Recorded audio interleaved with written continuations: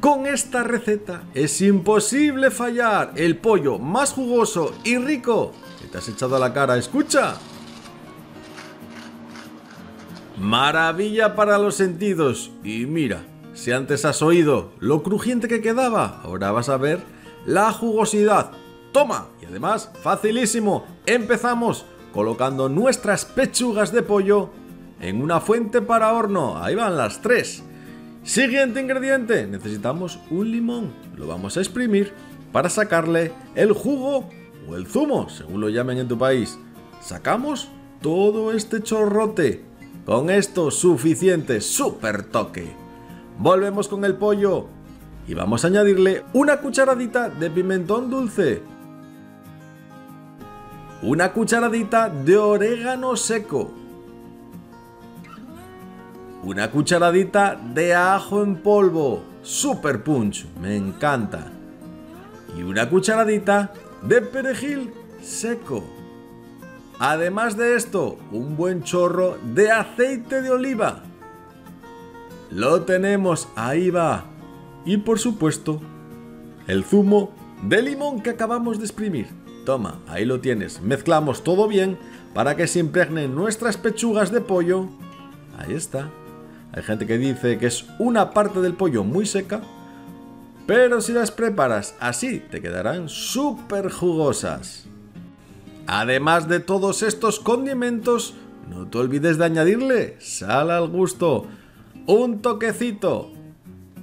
En cuanto lo tengas a la nevera, al frigorífico, 15 minutos reposando, macerando y tendremos nuestra carne así. Vamos a ir precalentando el horno a 180 grados centígrados, que son 357 Fahrenheit. Y mientras tanto, vamos a ir preparando el siguiente ingrediente. Bacon. Necesitamos 4 o 5 lonchas por cada pechuga. Las vamos a colocar así, montaditas unas sobre otras.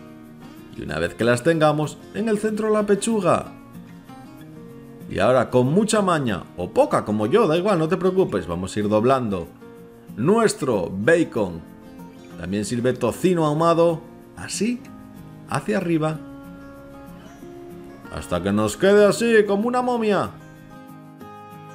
Venga, otro trozote. Ahí está, al medio. Cierro, picando así hacia arriba. Tiki, tiki, tiki, tiki, tiki, tiki. Y enseguida tenemos la segunda pieza, después la tercera y las tres a la fuente en la que hemos preparado el macerado. ¿Por qué? Porque tiene un montón de saborote ahí debajo, no te lo pierdas. Colocamos ahí el primero de nuestros capirotes de pollo y bacon, el segundo. Y por último el tercero, con la parte más bonita hacia arriba para que no se abra durante el cocinado. Nos vamos al horno. Horneamos 20 minutos a 180 grados centígrados, 356 Fahrenheit.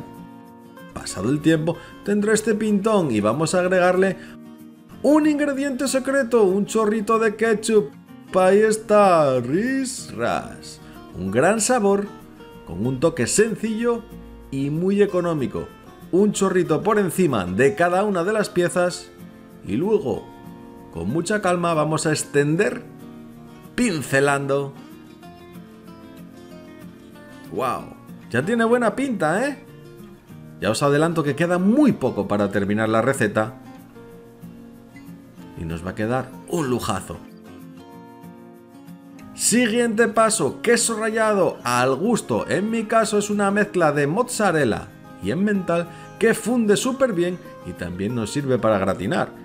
Échale un montoncete así, por encima, y enseguida lo tendrás listo. Y de aquí, volvemos al horno. No os preocupéis, poquísimo tiempo, 5 minutitos. Toma. Esta vez lo pondremos a 250 grados centígrados, que son 480 Fahrenheit. Y pasado el tiempo estará así, míralo. De aquí a la mesa. Escucha. Está diciendo, cómeme en el idioma del pollo. Ahí lo tienes, pechuga de pollo al horno súper jugosa y crujiente con queso y bacon.